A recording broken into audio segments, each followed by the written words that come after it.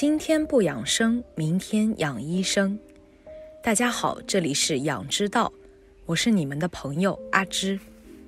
最近一则新闻上了热搜，沈阳一位三十岁的男人，在尝试了送外卖、做餐饮等各种工作后，赶上网络直播时代，发现吃播能赚钱，并且赚的并不少。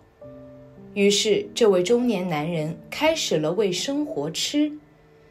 但是不幸的是，半年多时间做吃播，让他的体重从二百斤狂飙至二百八十斤，且在今年六月底去世了。你以为的吃的很健康，且不知里面也蕴藏着巨大的风险。靠吃赚钱，那也得有吃的命。如果没有，还是科学健康的吃，才能健康又长寿。一，下面六样食物，医生都在警告别吃了，里面含有大量的寄生虫。一，生鱼片，吃生鱼片是日本人的一种生活习惯，就像我们四川人吃麻辣火锅一样，日本人对于鱼的选用也是很严格的。生鱼片都是选自深海鱼，深海鱼的寄生虫相对会少于淡水鱼。还有生鱼片切得薄，可以保证食用安全。同时，冷处理技术发达，零下二十度就可以杀死寄生虫。中国主要用高温来杀死寄生虫，但是高温需要在七十度以上。寄生虫还是有存活的机会，所以为了吃的安全，一定要正规渠道购买，且搭配芥末酱会更加安全。二小龙虾，夏天来了，啤酒配小龙虾怎么能没有呢？但是你知道吗？小龙虾体内含有寄生虫——肺吸虫。它在人类身上主要寄生在肺脏，同时也可以寄生于大脑、肌肉等部位。很多人喜欢吃的醉虾、醉蟹，实际上就是生吃虾蟹。这种吃法极容易吃入肺吸虫囊哟。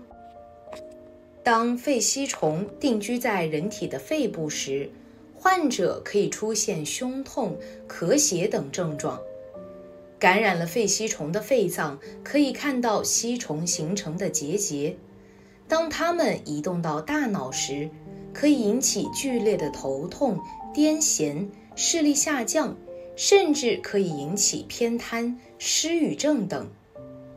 所以，吃小龙虾的朋友们一定要认真清洗、高温煮熟，并且一定不要吃头。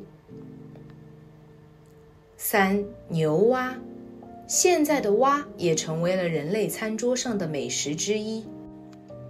但是野生牛蛙身上经常有曼氏蝶弓条虫，这种虫的幼虫猎头幼可以寄生在人身上，并不断游走，侵袭眼睛、脸、内脏甚至大脑等部位，可以在皮下或肌肉形成肿块。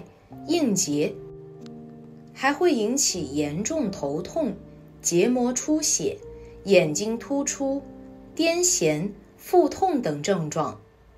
这种寄生虫的生命力比较强，普通爆炒、涮肉等方法不一定能把肉彻底煮熟，杀死猎头幼。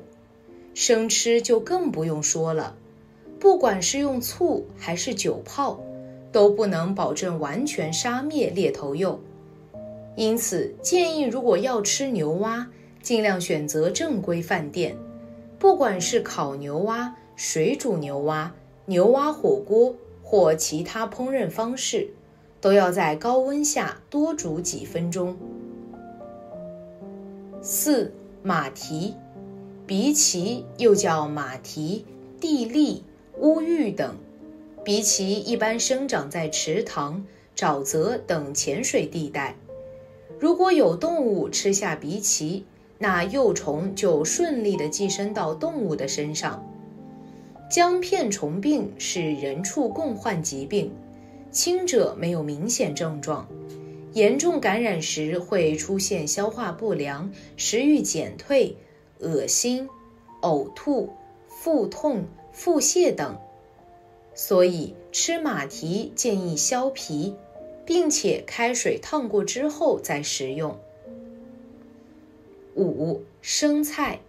吃烤肉的人一定离不开生菜，生菜大多数人主要以生吃为主，但是生菜的生长过程中雨水较多，寄生虫感染的可能性会增加，所以吃剩菜之前一定要浸泡，并且充分清洗干净再食用。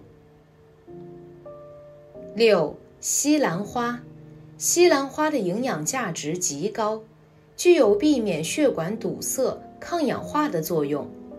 西兰花特别容易隐藏寄生虫、细菌等，所以如果在吃西兰花之前只是简单的洗一下，那么就意味着你吃到嘴里的都是农药和虫卵。一定要用盐水高温彻底煮。然后清洗表面附着的虫卵、杂物等。以上几样食物都是我们日常生活中常见的，里面含有寄生虫的食物。为了您和您的家人的健康着想，一定要处理干净食物再食用。其次，生活中其他生吃的东西也很多，也可能含有寄生虫。尽量少吃或者不吃生的食物。二、寄生虫对人体的危害。寄生虫在宿主的细胞、组织或腔道内寄生，引起一系列的损伤。这不仅见于原虫、蠕虫的成虫，而且也见于移行中的幼虫。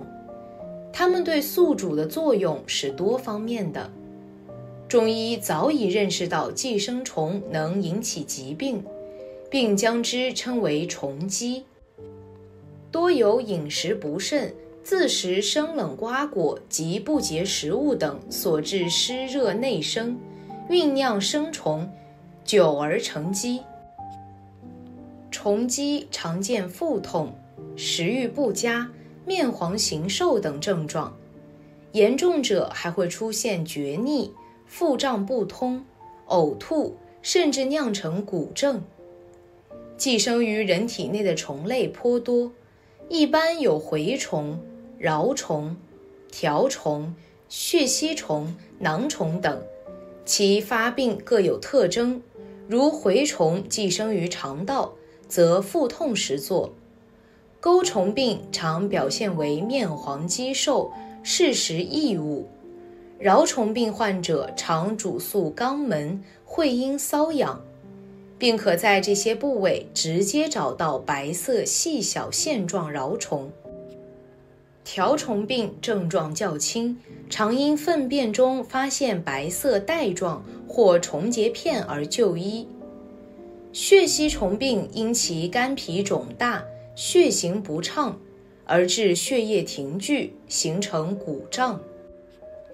一夺取营养，寄生虫在宿主体内生长、发育和繁殖所需的物质主要来源于宿主，寄生的虫数愈多，被夺取的营养也就愈多。如蛔虫和条虫在肠道内寄生，夺取大量的养料，并影响肠道吸收功能，引起宿主营养不良。又如钩虫附于肠壁上，吸取大量血液，可引起宿主贫血。二、机械性损伤，寄生虫对所寄生的部位及其附近组织和器官可产生损害或压迫作用。有些寄生虫尤其个体较大、数量较多时，这种危害是相当严重的。例如，蛔虫多时可扭曲成团，引起肠梗阻。棘球蚴寄生在肝内，起初没有明显症状，以后逐渐长大，压迫肝组织及腹腔内其他器官，发生明显的压迫症状。另外，幼虫在宿主体内移行，可造成严重的损害，如蛔虫幼虫在肺内移行时，穿破肺泡壁、毛细血管，可引起出血。三、毒性和抗原物质的作用。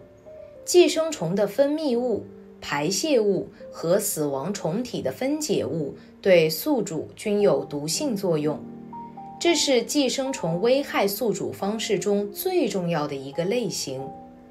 例如，溶组织内阿米巴侵入肠黏膜和肝时，分泌溶组织酶，溶解组织细胞，引起宿主肠壁溃疡和肝脓肿。扩结裂头条虫的分泌排泄物可能影响宿主的造血功能，而引起贫血。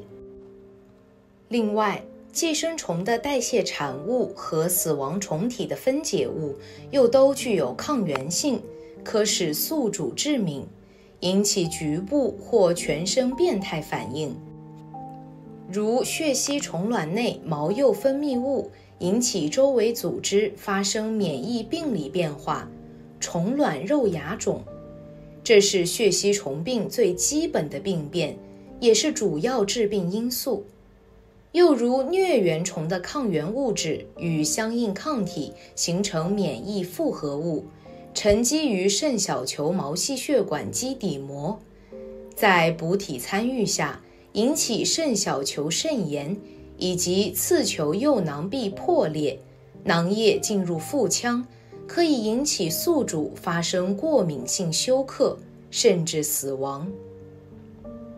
四、超敏反应，寄生虫在宿主体内往往会诱导宿主产生超敏反应，造成组织的损伤，这是寄生虫致病作用之一。超敏反应一般分为四型，即一、二、三、四型。前三型为抗体介导的超敏反应，四型主要是 T 细胞和巨噬细胞所介导的超敏反应。这四类超敏反应又分别称为速发型超敏反应、细胞毒性超敏反应。免疫复合物性超敏反应和迟发型超敏反应。最后知道了寄生虫的那么多危害后，建议大家尽量少吃或者不吃生的食物。好了，以上就是今天的全部内容。如果你也喜欢这个视频，并且让你深有感触，可以分享给身边的人哦。那我们下期节目再见。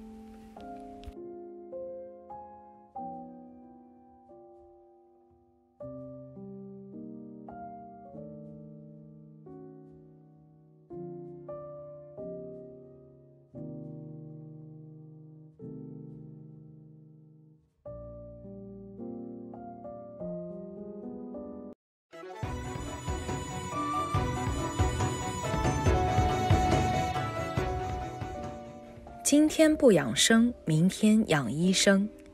大家好，这里是养之道，我是你们的朋友阿芝。张先生最近因为吃一口从冰箱里面拿出来的猪肉，然后差点人没了。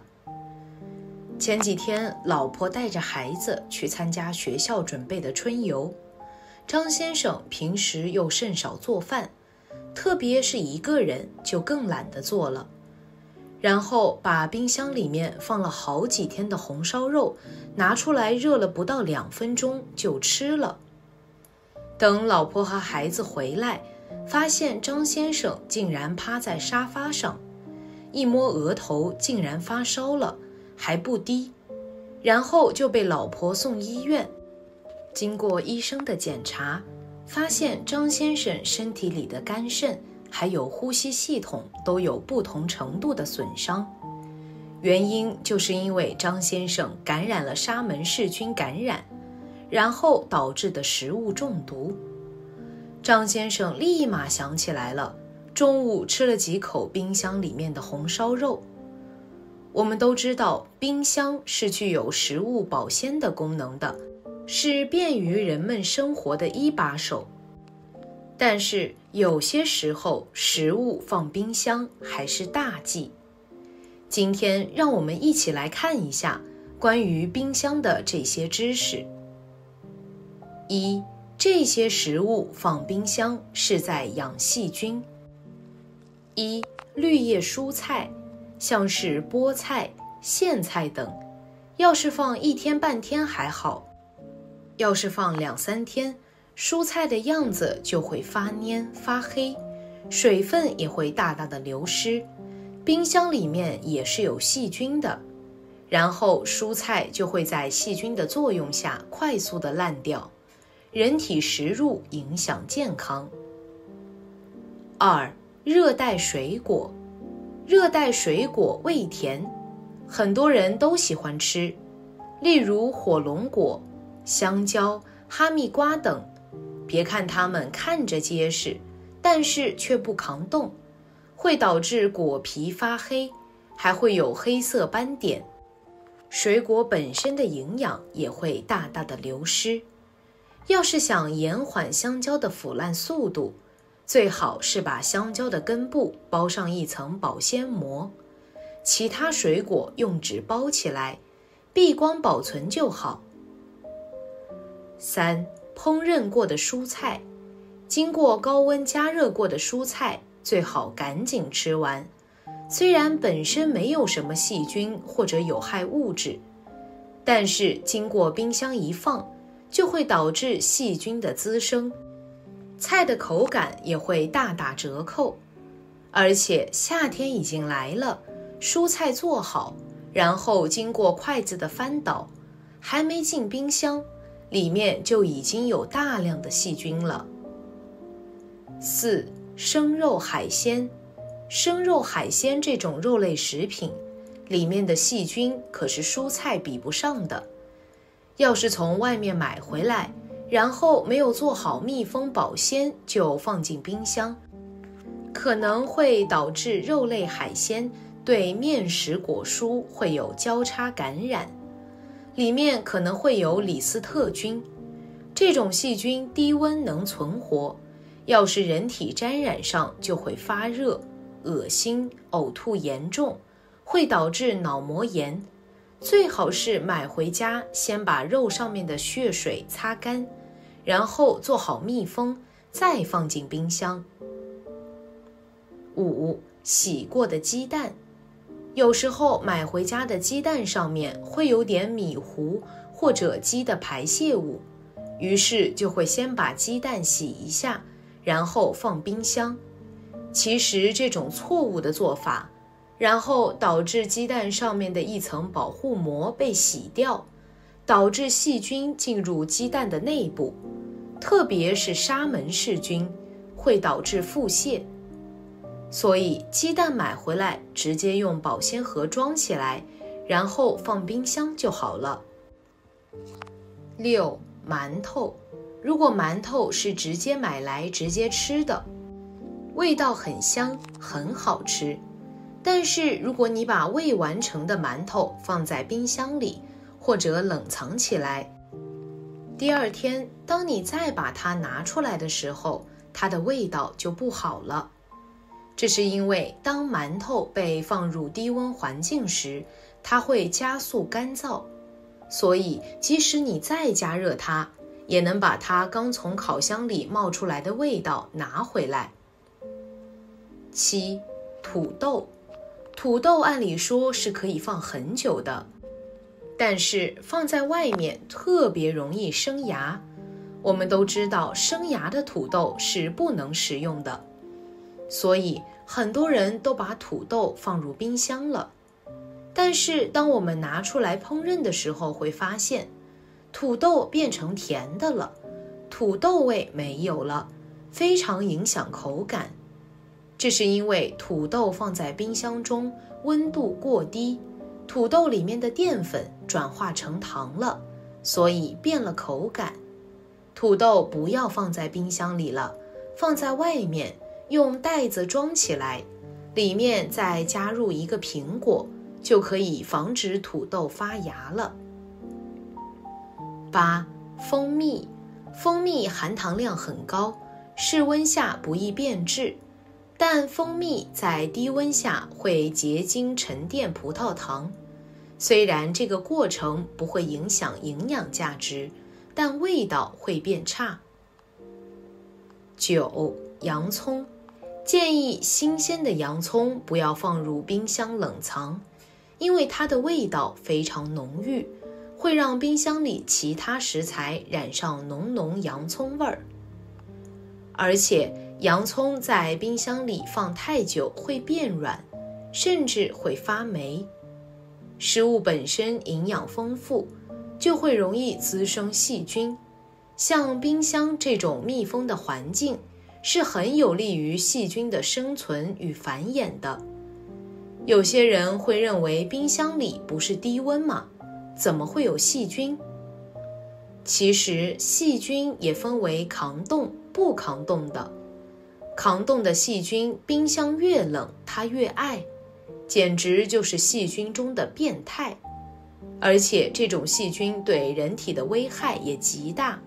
一般肉、牛奶里面就有抗冻的李斯特菌，会导致脑膜炎，还有败血症；还有耶尔森菌，会导致肠炎、阑尾炎等疾病。二、肉类可以放多久？不知道大家有没有听说过僵尸肉？就是肉经过几十年的冷冻，然后重见天日。现在市场上的僵尸肉就是已经过期的肉。我们要是去正规超市买肉的时候，会发现，超市有些肉没有经过冷冻，那是当天直接宰割的。还有就是带有一层冰晶的肉，这种肉不是不健康，只是不是当天的。或者一天没有卖出去，然后为了避免有微生物繁衍而冷冻了几天。一般我们会发现冷冻肉的口感比较老，那是因为低温导致肉里的蛋白质有所损失。但是导致买回家，然后常温放一会儿再进行烹饪，口感与鲜肉并没有什么区别。要是买回家的是鲜肉，一时间吃不完，然后可以放多久？这要看是什么肉了：猪牛羊肉、鸡鸭鹅肉、海鲜、真空包装的肉，但一定要低温，不是保鲜层。三、冰箱使用小贴士：无论什么食物，最好还是当年吃完。食材新鲜，避免不必要的危险发生。就算是放冰箱，也要放对位置。一般保鲜区放果蔬或者剩菜，恒温冷藏区放鸡蛋或者解冻的肉。冰箱门上的位置温度比较高，建议放熟食。下面的冷冻区就是放一些生肉、海鲜。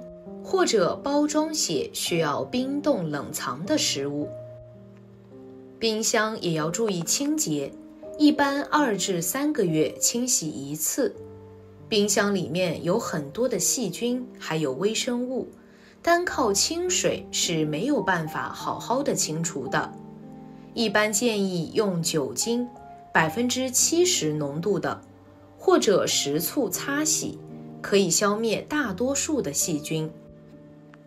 夏天已经来了，食物就会容易变质，最好当天买，当天吃完，然后冰箱注意清洁，不给细菌可乘之机。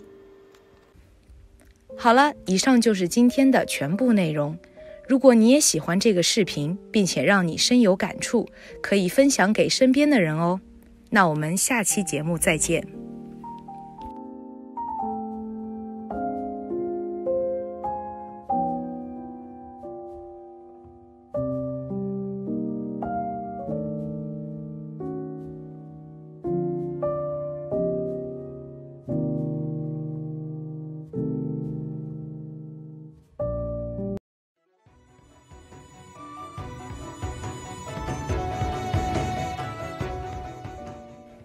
天不养生，明天养医生。大家好，这里是养之道，我是你们的朋友阿芝。老年痴呆指的是阿尔兹海默症，是一种发生在老年人群当中的中枢神经退行性病变。一旦患病，老年人会发生认知和行为障碍；一旦进入重度痴呆，致老年人出现全身系统病变，严重威胁到老年人的生命。所以，对于老年人群来说，一定要做好保护大脑的工作，能够最大程度降低患上老年痴呆的风险。而想要保护大脑健康，除了要注意做好生活方式的调整之外，还应该在饮食方面多加注意。病从口入，相信大家都明白，很多疾病都跟吃有关系。饮食不当，小到引起肠胃不适，时间久了，很多疾病都会找上你。但是，老年痴呆也跟食物有关系吗？在此提醒大家，常吃这五种食物容易引起老年痴呆。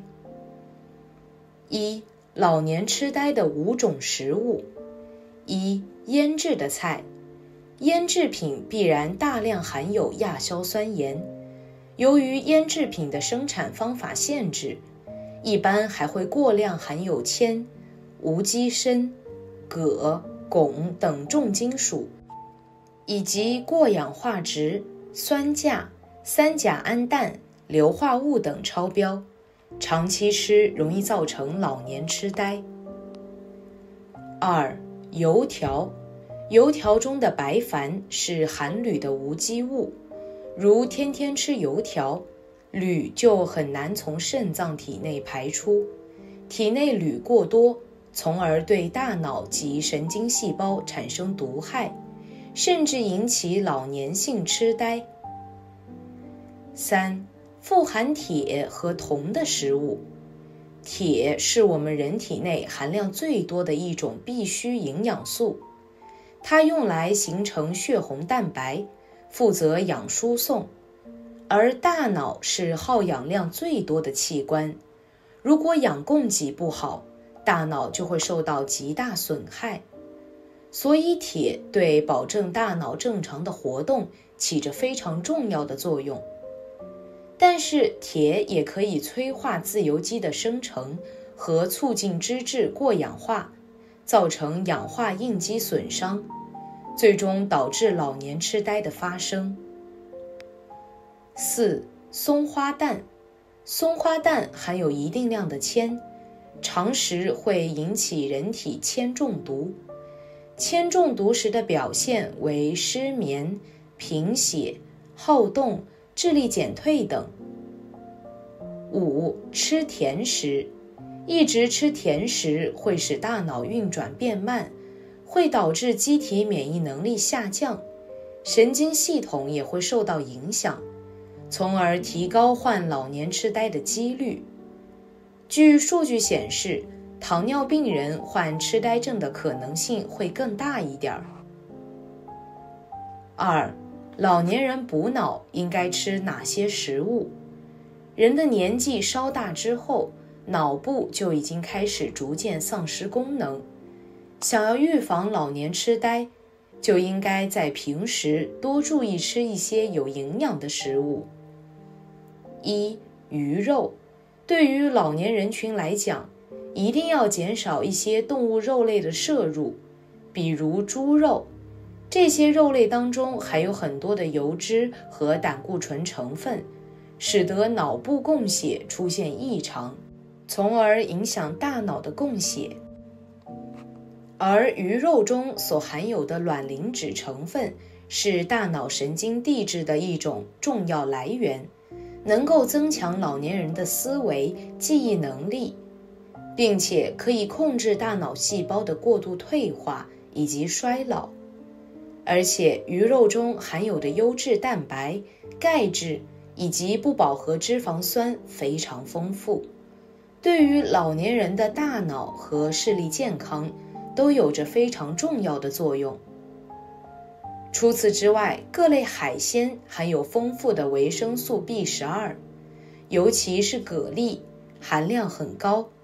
如果比较喜欢吃鱼，各种鲑鱼、红鳟鱼、沙丁鱼也含有一些维生素 B 十二。此外，各种螃蟹、虾、紫菜等也是不错的选择。二、牛奶。牛奶当中含有的氨基酸成分非常的丰富，这种成分可以维持大脑的正常功能，有着补脑健脑的功效。而且在牛奶当中还含有比较多的钙质，这些钙质特别容易被人体吸收，可以维持大脑细胞的正常代谢。而且在牛奶中所含有的维生素 A 也非常多。这种成分可以促使机体吸收钙质，能够达到补脑的功效，还有着补钙的效果。